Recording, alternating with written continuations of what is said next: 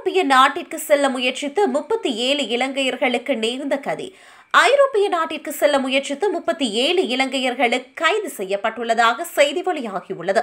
இலங்கையர்கள் உள்ளிட்ட எழுபதுக்கும் மேற்பட்டவர்கள் ஐரோப்பிய நாட்டிற்கு செல்ல முயற்சித்த போதே கைது செய்யப்பட்டுள்ளனர். கைது செய்யப்பட்டவர்கள் ரொமேனியாவிலிருந்து ஐரோப்பிய நாடுகளுக்கு செல்லும் நோக்குடன் தப்பிச் செல்கையில் சிக்கியுள்ளதாக தெரிய வந்துள்ளது கைது செய்யப்பட்ட எழுபது பேரில் முப்பத்தி ஏழு இலங்கையர்கள் உள்ளடங்கியிருந்தனர். எனினும் அவர்கள் இலங்கையின் எந்த பிரதேசத்தைச் சேர்ந்தவர்கள் என்பது குறித்த தகவல் வெளியாகவில்லை.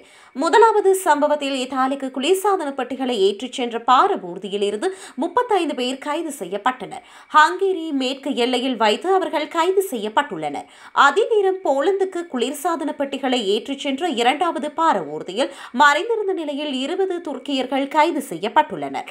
மூன்றாவது பாரவூர்தி வாகன உதிரி பாகங்களை ஏற்றிக்கொண்டு இத்தாலிக்கு பயணித்த நிலையில் அதிலிருந்து பதினைந்து பங்களாதேஷ் மற்றும் எத்தியோப்பியர்கள் கைது செய்யப்பட்டனர்.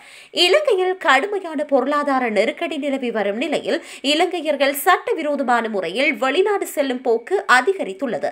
இந்த நிலையில் இவ்வாறான ஆபத்தான பயணங்களை மேற்கொள்ள வேண்டாம் என பொதுமக்களிடம் எல்லை கண்காணிப்பு அதிகாரிகள் கேட்டுக்கொண்டுள்ளனர்.